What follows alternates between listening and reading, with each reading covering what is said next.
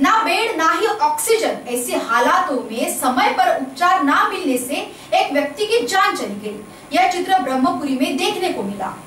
Corona का कहर विकराल रूप ले चुका है। चारों ओर लाशों के ढेर छाए हुए हैं। मौत का आतंक नज़र आ रहा है।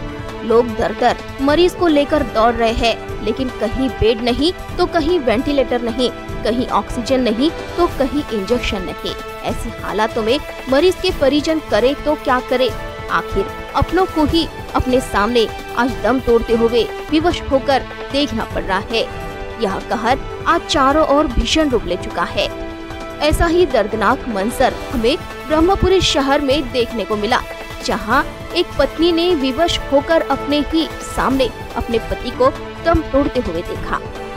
कुही तहसील के आम्बोरा निवासी 50 वर्षीय व्यक्ति कोरोना बाधित होने से उन्हें आम्बोरा के डॉक्टर्स ने ब्रह्मपुरी के अस्पताल में रेफर करने की सलाह दी थी। तभी उन्हें ब्रह्मपुरी लाया गया, तब उनकी पत्नी उनके साथ थी।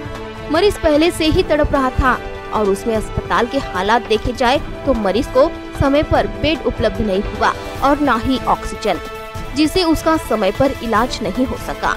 आखिरकार पत्नी भाग दौड़ कर उसे ब्रह्मपुरी के क्रिस्तानंद चौक के प्रवासी निवारा में लेकर आई ऐसे में करीब सुबह साढ़े सात, आठ बजे के दौरान उस व्यक्ति का इलाज न होने से उसकी मृत्यु हो गई।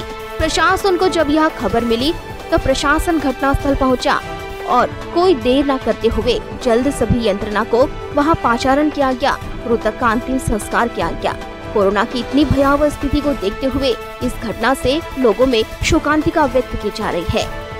इस इलाके में बड़े पैमाने पर कोरोना बाधित निकलने पर भी स्थानीय नगर प्रशासन, पालक मंत्री इनकी ओर से कोई भी सुधार न होते नहीं दिखाई दे रही है। ऐसा आरोप आम आदमी पार्टी के चंद्रपुर जिला उपाध्यक्ष विजय सिद्धावार ने किया है। पिछले एक सप्ताह में पाँच कोरोना बाधित निकलने से तहसील में चिंता का वातावरण है, लेकिन इस क्षेत्र के प्रतिनिधित्व करने वाले मंत्री इस ओर ध्यान न देते मुंबई के लोकल के बारे में ही टीवी पर चर्चा करते दिखाई दे रहे हैं ऐसा आरोप भी उन्होंने समय किया। ब्रह्मपुरी येथे आज एका इसमाचा दुर्दैवी मृत्यू झाला. दुर्दैवी मृत्यू यासाठी की त्याला बेड मिळाला नाही ऑक्सिजन मिळाला नाही आणि म्हणून बसशेडमध्येच त्याला मृत्यू पत्करावा लागला.